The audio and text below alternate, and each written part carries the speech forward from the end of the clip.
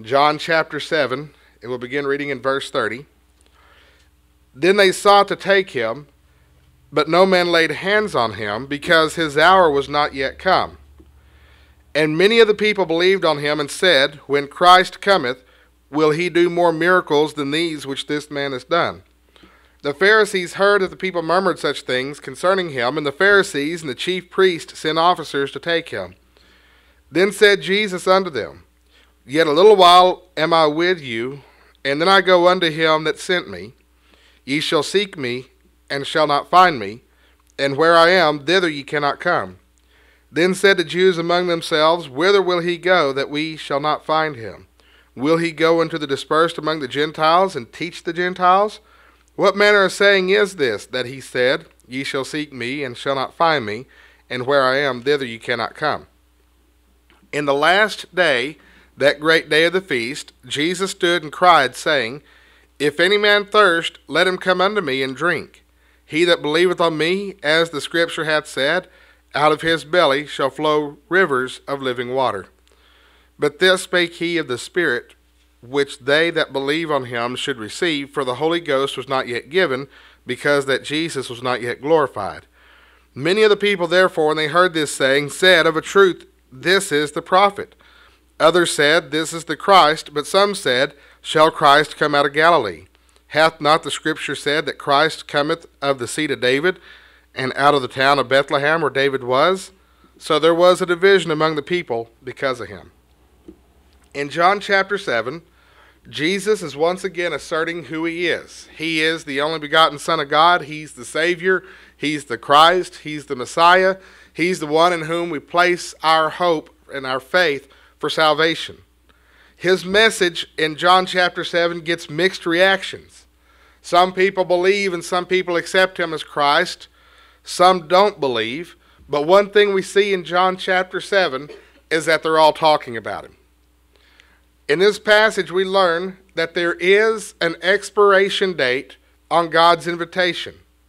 We learn what the Lord is inviting us to, and we learn about his preeminence. We learn about how he's first and foremost. We learn that there's an expiration date on the Lord's invitation. If you look in verse 33, then said Jesus unto them, Yet a little while am I with you, and then I go unto him that sent me. Ye shall seek me, and shall not find me, and where I am, thither ye cannot come. The people in Jerusalem were in a special time and place. They were in a time and place where they got to see Jesus. They got to see him. They got to hear him talk. They got to hear him speak. They got to listen to his teachings. They got to listen to his sermons. They had the opportunity to ask him questions. It was a blessed place to be. Have, can you think of somebody in history that somebody you may look up to that you would have loved to have been able to hear them speak in person, or you would have loved to have been able to sit down and talk to them or ask them questions? I can think of preachers that have gone on before us that I would have loved to have heard them preach or loved to have heard them teach a lesson or to have been able to ask them questions or to get to know them on a better level. I mean, you, you think of uh, great preachers like J. Vernon McGee. I get to hear his sermons on the radio, but what would it have been like to sit in on a service at the Church of the Open Door? You, uh, you great preachers all throughout time, great political leaders all throughout time, social leaders. I mean, what would it have been like to actually be at the March on Washington? You know, and to hear Dr. Martin Luther King Jr. speak in person. The people of Jerusalem had something far greater than that. They had something far greater than that opportunity. They had the opportunity to see, to interact with, to hear, and to ask questions of the only begotten Son of God. And they, they went and they heard him speak, they heard him teach, they asked him questions. But what Jesus was telling them is that this time was coming to a close, that the day was coming that he wasn't going to be among them anymore. See, Jesus was going to die on the cross for their sins. And these people were missing the point. But he would die on the cross for their sins. He would be buried. He would rise again the third day, ascend to be at the right hand of the throne of God. And after that, he would no longer be among them. And when Jesus rose to be at the right hand of the throne of God, hard times came upon Israel and came upon Jerusalem after that. The time was coming that he would no longer be around. And so they needed to take that opportunity to trust him, to follow him, and to learn from him. Now that's what this meant to them back then when he said, Yet a little while I am with you, and then I go unto him that sent me. Ye shall seek me and shall not find me, and, where I am, thither ye cannot come. He's saying, Your time here is limited. Your time to hear the teachings is limited. Your time to believe, your time to follow, your time to learn is limited. And that's what he was telling the people of Jerusalem in that day. Now, for us today, this also teaches us that our time is limited. Our time is limited to accept God's invitation. If you have not accepted Jesus Christ as your personal Savior, you still have opportunity at this exact moment. But that opportunity could close, and it will close without warning. Once your life here on this earth is done, then wherever you stand with the Lord, that's where you will stand for eternity. If you leave this life, if your life on this earth ends and you never knew Jesus Christ as your personal Savior, you will never know Jesus Christ as your personal Savior. If you die without being a child of God, you will never be a child of God. Do not put off the decision to accept Jesus Christ as your personal Savior because you don't know when the curtain will close on that opportunity. Isaiah 55 6 says, Seek ye the Lord while he may be found Call ye upon him while he is near. The Lord will not always be found. The Lord will not always be near in the sense that you can approach him. Because when you die, the Bible says it's appointed unto a man once to die and then the judgment. When you die, it's judgment day at that moment. When Christ returns, it's judgment day at that moment and there'll be no more time for repentance. There'll be no more time to accept Him as Savior. There'll be where you are at that particular moment in time, that's where you'll be for eternity. And so, man today, mankind today, men and women today need to understand that there is urgency to our message. We have a tendency to think that we're going to live forever. You know, the average age that a person lives to in the United States, I believe, is around 71 or 72. By that logic, I have almost 40 years left, right? But not everybody lives to be 74 years old. Not everybody lives to be 77 years old. I may die tomorrow. I may die next week. I may die 40 years from now. I may live to be 100. We don't know. But it's that uncertainty that teaches us that we need to have our eternity settled with God. If you have not accepted Jesus Christ as your personal Savior, today needs to be the day that you turn from your sins and you trust Jesus as your Savior. And you say, Well, Leland, I've already accepted Jesus Christ as my personal Savior. My question is, have you been living for Him? If you've accepted Jesus Christ as your personal Savior, but you haven't been living for Him, you don't have to waste any more of your time. You know, we only have a certain amount of time on this earth. We only have a certain amount of time to live life. We only have a certain amount of time to experience things, to see things, to spend time with our families, to spend time with our kids, to spend time with our grandkids, to spend time with our parents, to spend time with our grandparents. We have a limited amount of time. But moreover, we have a limited amount of time to live for the Lord, to honor and glorify the Lord, and to do the things on this earth for which He rewards us in heaven. We have a limited amount of time. Don't waste your time on this earth. Ephesians chapter 5, verses 15 through 16 says, See then that you walk circumspectly, not as fools, but as wise, redeeming the time, because the days are evil. That word circumspectly means diligently. The Bible says to walk circumspectly or to walk diligently. To walk means to live, it means how you go about your day to day lives. All right? Live diligently. What does it mean to live diligently? It means to live a life that is paying attention, a life that is paying attention to detail, a life that is paying attention to God and what God wants us to do. So many people live life like a summer day. If you can remember back being kids when you had summers off and you started the summer and summer was over, you know, just about as quickly as it started. You started off summer and you're like, yay, we're out of school for three months. I'm going to do this, this, and this. And the next thing you know, your mom's taking you shopping for school supplies. And that was always kind of a sad day because you knew the school year was coming. And you look back over those three months and we just didn't get everything done we wanted to do. A lot of people live life like that. They live life like a school child lives summertime, not really giving a thought to the day before or the day ahead or the day as it is and using the time the way it ought to be used. We are to live diligently. We are to walk circumspectly. We are to live a lifestyle that is paying attention, that is plugged into God, that is using our time wisely. Using our time wisely and spending it with our families, using our time wisely in reaching the lost people around us, using our time wisely in using our talents and our abilities to honor and glorify God. The Bible says in Ephesians 5:16, "See then that you walk circumspectly or live diligently, not as fools." Now a fool is one who just floats through life, whatever happens happens, whatever comes comes, and they never quite see the connection between the choices they make and the consequences they reap as a result. They just kind of go through life. They just kind of float through. They just kind of exist. And God doesn't want us to just exist. He wants us to live. He wants us to do. He wants us to use our time. And so see then that you walk circumspectly, not as fools, but as wise, redeeming the time because the days are evil. To redeem the time means to make the most of it. And we need to make the most of it because we don't have much of it left. You know, I'll look back at my first 34 years, and they went quickly.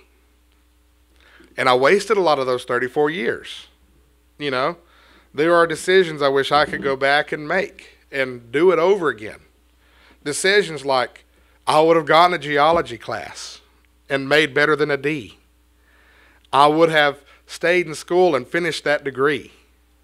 You know, I, I wouldn't have spent so much money at Applebee's and Chili's. I mean, I ran up a $1,500 credit card one month d- doing that. Uh, I was in college, I had a credit card. I didn't quite learn the concept of annual percentage rate. Okay, and so, you know, had to, had to pay that off. The, the, I would have, you know, stayed with certain jobs longer. I would have taken the time to learn more. I would have set myself up to where God could use that to b- benefit me and bless me today. I wasted a lot of time. But 34 years has gone quickly. And it's moving faster and it's moving faster. And I don't know how much time I have left. Maybe I do have 40 years left. Okay? But that 40 years is going to go quickly. I can't change the decisions I made in skipping out of geology class and in not going to school and in not finishing my degree and in changing jobs every six months from the time I was 18 to the time I was 25. I, I can't go back and change those decisions. What I can do is look at the situation I'm, I'm in now, look at the decisions that are before me now, and make wise decisions today. I can redeem the time. I can make the most of the time that I have left you know, you know, the average age of an American, I think, you know, the average American lives to be in their lower 70s, anywhere from 71 to 74. The age fluctuates through through the years. And you may say, well, I've lived beyond the mm-hmm. average age of the American. I'm, I'm almost out of here. Graduation day is right around the corner, Leland. I don't care if you have two days or 20 years left. Make the most of it. Make it count. So walk circumspectly, live diligently, redeem the time, make the most of it because we don't know how much is left and we know that the curtain will close. And when the curtain closes, when the Lord returns or when he calls you home, that is where you stand in that day, is where you will stand with the Lord for eternity. And what do you want to hear? Do you want to hear, Well done, thou good and faithful servant? Or do you want to hear, Depart from me, you workers of iniquity, for I never knew you? Make your calling and election sure. Settle eternity with the Lord. Trust Him as Savior. And if, if you have not trusted Him as Savior, and if you have trusted Him as Savior, make sure you're using your time to the best of your ability to honor and glorify the Lord. So there is an expiration date on the Lord's invitation. Then we look at what the Lord invites us to do. The Lord invites us, first of all, to trust Him. If you look in verse 37, Jesus says, If any man thirst, let him come unto me and drink. Let him come unto me. That's the great invitation that the Lord extends. Come unto me. Matthew chapter 11, Jesus said, Come unto me, all ye who are weary and heavy laden, and I will give you rest. Take my yoke upon you and learn of me, for I am meek and lowly, and ye shall find rest for your souls, I think is how the verse goes. He invites people to come unto him. He invites us to come unto him. He invites those who are who labor, those who are weary, those who are heavy laden, those who are struggling, those who are sick, those who are discouraged. He invites them to come unto him. He invites us to turn to him. To turn to him means to trust him. The Lord wants us to turn to him and trust him. The first thing you trust the Lord for is salvation. The nail that you hang your proverbial hat on to get you into heaven is the fact that the Lord died for your sins on the cross. He's the one that's going to get us into heaven. We're not the ones that's going to get us into heaven. He's the one that's going to get us into heaven. I think I told y'all the story about the girl I knew on Facebook that said it's up to me to get me and my family in heaven. That is a burdened place to be because it is impossible. It does not matter how I dress my kids, whether or not I let them watch a television, whether or not I let them on the internet, how many times I sit down to them with Bible lessons on a daily basis, how I make them fix their hair, and I think y'all probably noticed that I'm not real diligent on how the kids' hair gets fixed some days. I've got one, if I don't buzz it, I don't know what to do with it. But but he knows what to do with it, so he's he's doing his thing. But it does not matter how I dress them, how I groom them, how I talk to them. I cannot get my kids into heaven. Only the Lord can get them into heaven. Only the Lord can get me into heaven. There's a preacher that preaches on the radio around here, and he's telling his congregation how to get into heaven. They have to believe, they have to be baptized, they have to be members of the church, they have to do this, they have to do that, and they have to do the other thing. And the Lord never said, You have to do this, you have to do this, you have to do this, you have to do this. What did the Lord say? He said, Come unto me, turn ye unto me, repent and believe. He that believes on the Son of God is saved. He that believes not is condemned. That's what the Lord taught about salvation. If that plan of salvation that that man preaches on the radio is true, then Jesus preached false salvation the entire three and a half years he was on this planet.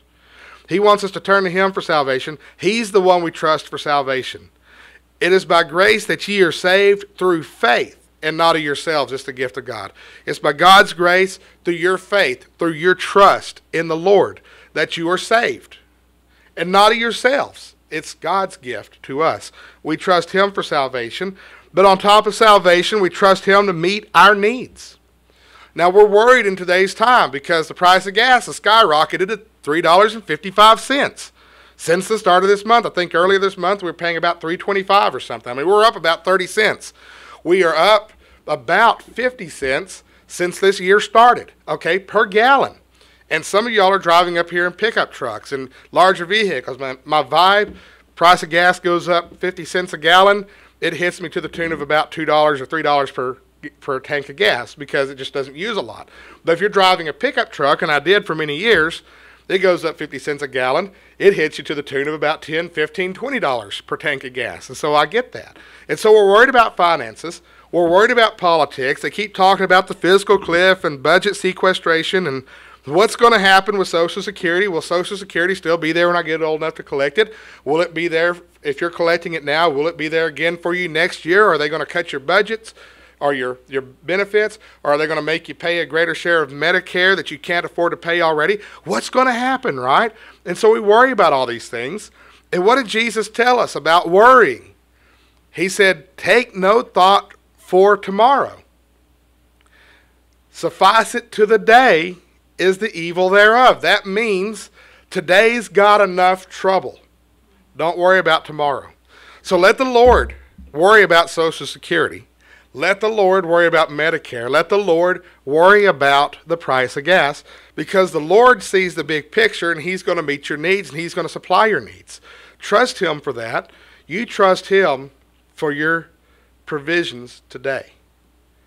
The model prayer, the Lord's Prayer, the prayer that Jesus taught His disciples to pray, said, Give us this day our daily, not weekly, not monthly, not yearly food, but give us this day our daily bread.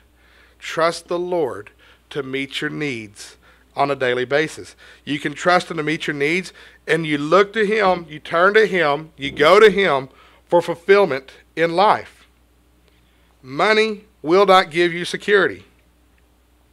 There's a investment house, investment firm, something they they what they do is they get they take your money and they put it in annuities, and you live off of the interest, the annual percentage yield, and they've got a rock bottom interest rate of about three percent per year. And so if you invest your money with them, whatever money you put in there, you get three percent back. And so if you put three million dollars in annuities with this company, that's three percent of that's about ninety thousand a year. So you're thinking, that's security, right? If I could guarantee myself $90,000 a year for the rest of my life, life would be good. But there's no security in that. First of all, we don't know how safe those bonds are. Second of all, we have this little thing called inflation, which things, you know, money that's good money now won't be good money down the road because the money won't be as valuable. And that's one of the things that investors who teach you about about investing for retirement, that's one thing they warn you about is keep your money growing because you have to outpace inflation. And so, what's the lesson we learned there? You've always got to be finding more money, right? Money doesn't bring security. And that's why rich people are always looking for more money. It's not that they're greedy, it's that they haven't found the security that they were looking for in the millions that they've already made. Money doesn't bring you security. The Lord brings you security. Things, new things, gadgets, things you buy from Walmart, this really this really really neat thing that we just bought. It's cool until the newness of it wears off. You ever bought a new computer and that new computer is as fast as a Lamborghini until you've had it for a few months and all of a sudden it's slow, right? And it's outdated and it's obsolete. Apple comes out with an iPad. Then they come out with the iPad 2. Then they come out with the iPad mini. And then we find out that the Samsung Galaxy phone does all the stuff that the iPads won't do.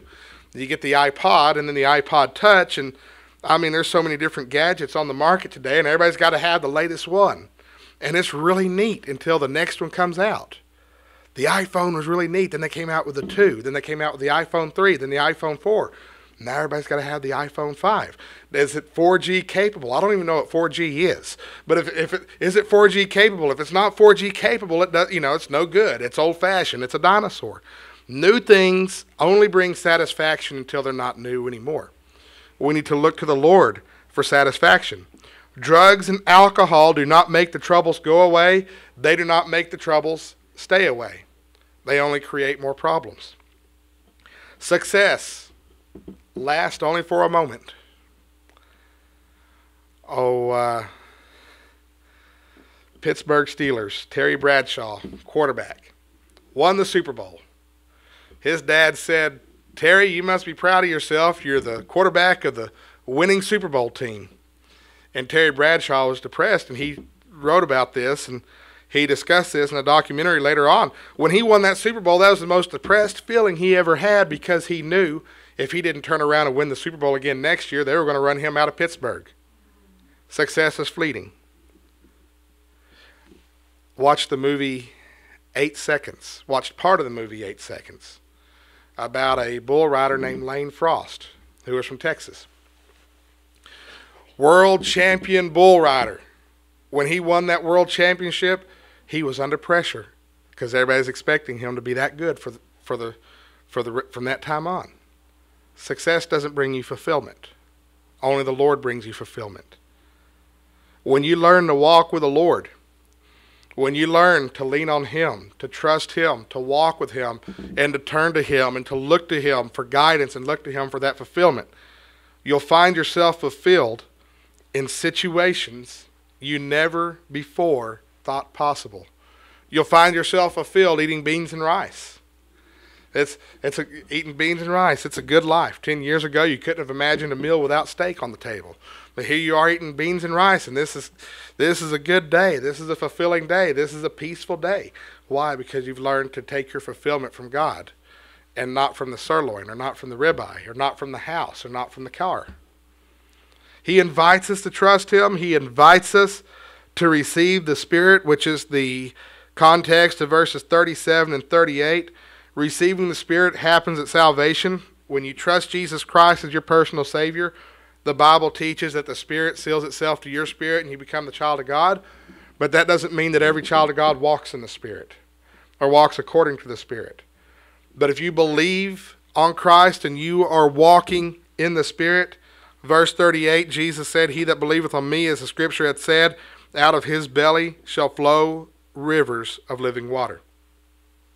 The Spirit guides us, prepares the way for us, teaches us, blesses our efforts, and if we trust the Spirit to work things out in our lives, that's the equivalent of trusting Christ.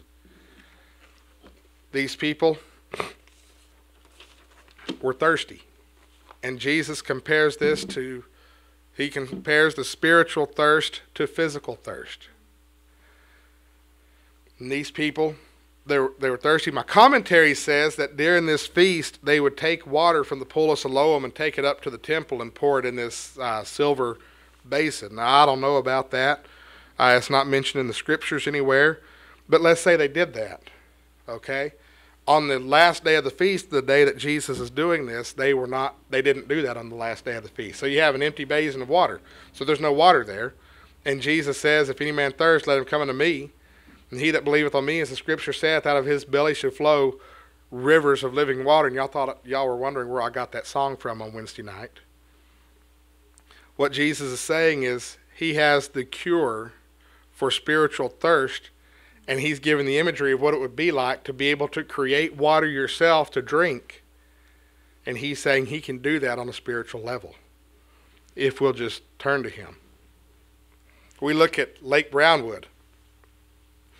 There's some water in there, so we should be thankful for that, but it's still 10 and a half feet low. Well, what are we going to do?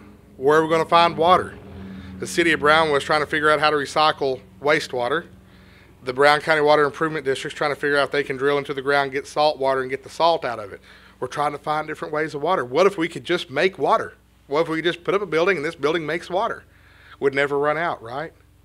On a spiritual level, that's what Jesus can do for us spiritually if we will turn to Him and if we will trust Him. Now, in this passage in John chapter 7, some people believed on Him and some people didn't. But the thing that we see about this is that they're all talking about Him in verses 40 and 41 Many of the people, therefore, when they heard this saying, said, Of a truth, this is the prophet. Others said, This is the Christ. But some said, Shall Christ come out of Galilee? Some believed he was a prophet. Some believed that he was the prophet like unto Moses. But they didn't accept him as Christ. They didn't accept him as Savior, but they accepted him as prophet. And there are a lot of people today who see Jesus as a great teacher. They see him as a prophet.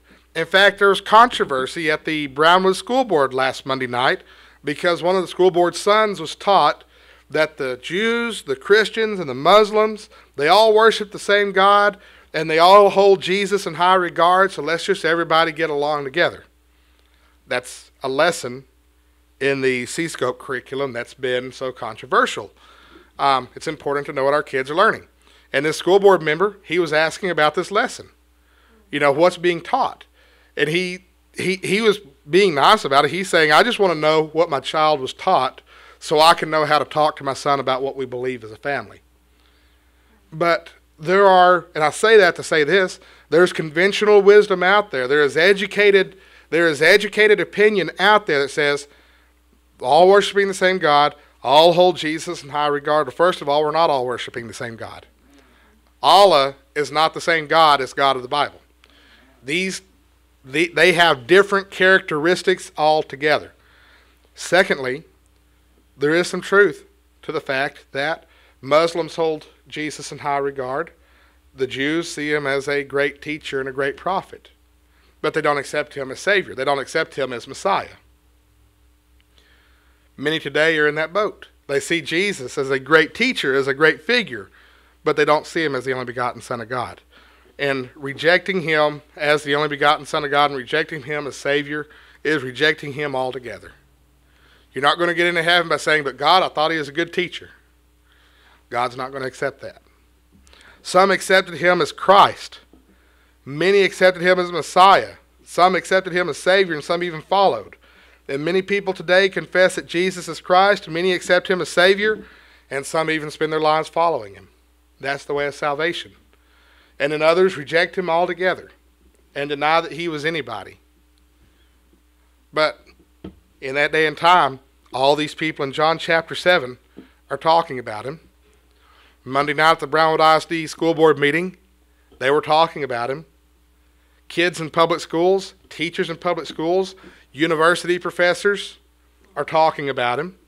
Historians are talking about him. Religi- religious leaders are talking about him. Political leaders are talking about him. 2,000 years later, we're all still talking about Jesus. If you have a man who is still being talked about on this widespread of a scope 2,000 years later, you might want to get to know about him. You should know him. You should accept him as Savior. Our time on this earth is short. Don't waste it. Don't waste the opportunity to accept Christ as Savior. Don't waste the opportunity to live in His blessings by following His will, by following His steps, by following His leadership, and doing what it is that He's called us to do. Don't waste your time on this earth. You know, we look at the kids in school, they've got career technical education now. Kids at early are going to learn to be nurses before they even get out of high school. They get out of high school, a year later, they can become a registered nurse. Kids at Brownwood got this thing called the STEM Academy, the Science, Technology, Engineering, and Math Academy. Going to teach these kids to be engineers. They're going to go straight into engineering school right out of high school, okay? I mean, the kids today have all kinds of educational opportunities. My son is learning to program computers, to program robots, to tell it to pick up checkers. Do you know what I was doing in the fourth grade? I was learning to multiply double digit numbers. I might have been just learning to add double digit numbers. He's sitting here telling a little robot to go across this little map, pick up this checker, move it over there, drop it in this specific little place, and he built the robot. I mean, kids today have all this education out there in front of them, and some of them are going to utilize it, some of them are going to learn, and some of them are going to do great things with their lives. And some of them are going to waste their years of school and come out of school never learning a thing. And you look at that kid that wasted their school years and didn't learn a thing, how could you waste that opportunity for that education? People look at me and say, How could you waste that college education? You didn't finish. Why not? You were only a semester away. I made the bad. I made the. I did not make the decision to apply myself to finishing up my schoolwork. And we look at these situations and how could you waste that opportunity? How could you blow that opportunity? God has given us the ultimate opportunity. We have our life and our time on this earth to trust Jesus Christ as our personal Savior and to live in His presence. Why on earth would you waste that time? Let's stand.